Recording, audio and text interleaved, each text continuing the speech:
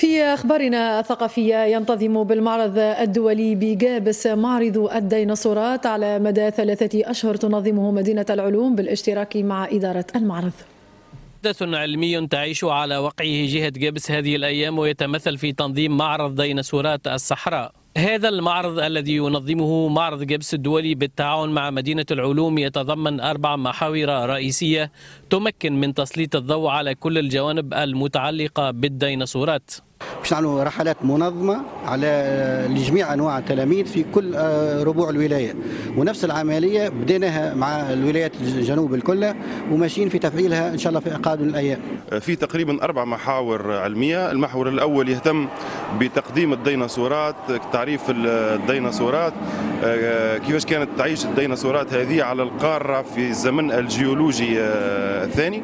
المحور الثاني يهتم بعلاقة الديناصورات بالوسط الطبيعي، كيفاش تتكاثر الديناصورات آه، نظامها الغذائي آه، علاقة الديناصورات بالوسط التي تعيش فيه. المحور الثالث يهتم بكيفية دراسة الأحافير بصفتها هي اللي تجيب لنا المعلومة العلمية الكافية باش نجموا نصنعوا المجسمات هذه وباش نجموا نعرفوا هذا الموروث الجيولوجي. والمحور الرابع والسؤال اللي مازال ما فيش إجابة تقريبا شافية هو كيفية انقراض الديناصورات. معطيات علمية شافية وضافية يقدم هذا المعرض الذي خرج لأول مرة من مدينة العلوم وحط رحاله بمدينة جابس التي تبقى في حاجة بحكم ثقلها الجامعي والتربوي لمثل هذه التظاهرات العلمية.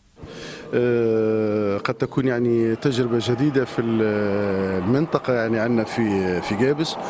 وجدير بأن يشاهده يعني العديد من الأطفال حتى آه، يقترب منهم هذا العالم الذي قد آه، يعني آه، ينحصر اتصالهم به فقط عبر التلفزيون. معرض ديناصورات الصحراء الذي يمتاز بكونه معرضا تونسيا 100% فكرة وتصميما وإنجازا سيتواصل بقصر المعرض بجبس على امتداد ثلاثة أشهر وستنتظم على هامشه العديد من التظاهرات العلمية.